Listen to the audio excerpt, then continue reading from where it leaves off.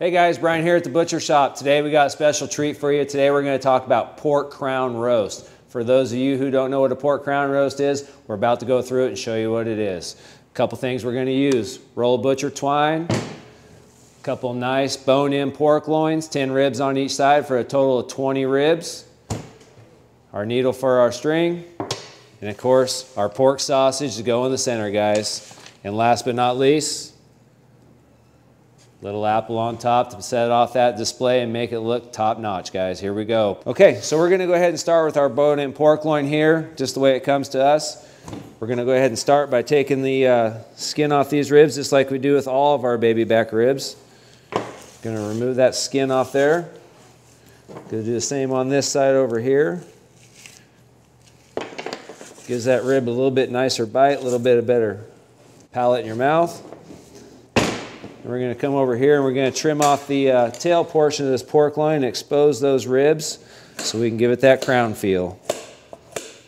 These are one of my favorite things to make. I think they have a real nice appeal to them. They look great on your plate. They're just fun to make, guys. Now by taking this tail piece of meat off here, it's going to open up these ribs and you're going to see these nice crowns come to life. We only use the best pork we can find, just like everything we source here. We only use natural pasture raised pork, ensuring that we get the best quality possible for you guys on your plate. That way, everything is the best it can possibly be.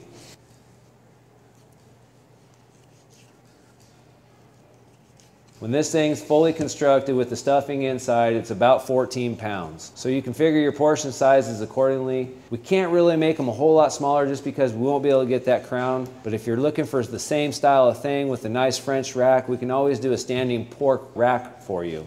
You'll probably very rarely see these in the counter, guys, but we always have them. Just give us a call ahead. Let us know that's something that you might like to have. Just need about 48 hours notice, guys. We can get one made up for you.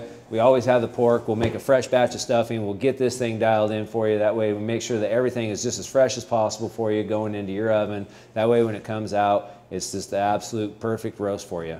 These are more popular at the holidays, but it could just be a random Tuesday. We can get one for you whenever you need one. Just let us know, give us a phone call, touch bases with us, and we'll get one made up for you. All right, so now we got our pork loins go ahead and cleaned up. You see these ribs are all exposed now. A little bit further clean, we'll have these dialed in, but we're gonna go ahead and tie these together now. All right, we're gonna take our old-fashioned meat needle here that we got from Uncle Leo. Been in the meat business a long time, passed it down to me, real pleased to have it. We're gonna go ahead and put this first string in to establish our roast and get it set up so we can build, begin to build the crown.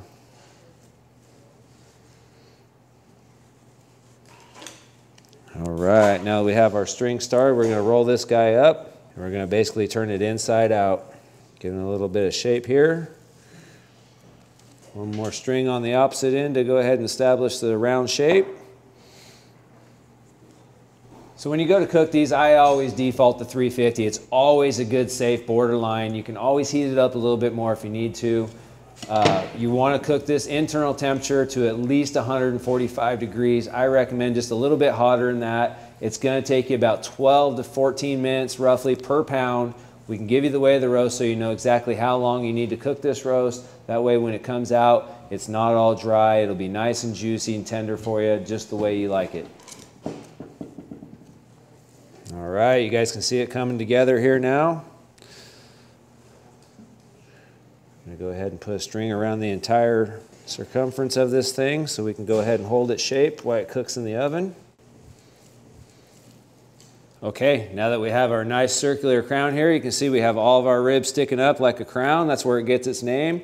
Center here, we're gonna go ahead and fill up with our house-made stuffing with our pork sausage in it, celery, and other good items here. Then we're gonna go ahead and top that off with a nice garnish right on top.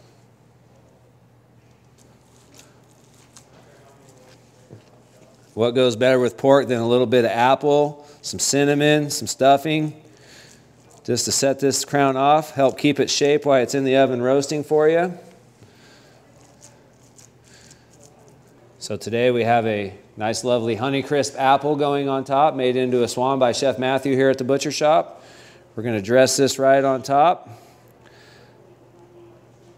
Set them in there. I don't recommend cooking the apple with the roast. I re recommend pulling that off, setting it aside during the cooking. Go ahead and put it on top when it comes out. It'll be nice golden brown. You'll have this beautiful red apple come out. It'll look fantastic for you. We're gonna go ahead and put this on a tray and show you what the finished product looks like. Okay guys, and here's our nice finished pork crown roast. I can taste it already. I can smell it already. Someday we'll have smell vision. You'll be able to smell it come right through your YouTube channel. Man, you're just gonna wanna rush right down here and get a pork crown roast. Give us a call, order one up, let us know if you need one. Heck, it could just be a random Tuesday, surprise the wife, cook a roast for her. It could be a holiday order, whatever the case may be, let us know. Get a pork crown roast, check it out. You will not be disappointed, guys. Thanks for taking time to watch this video. I appreciate it and look forward to seeing you soon.